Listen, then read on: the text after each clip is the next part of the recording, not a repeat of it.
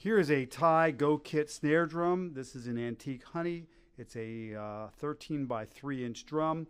It has only been played for the purposes of demoing, so there's a few marks on the head, but other than that, it's brand new.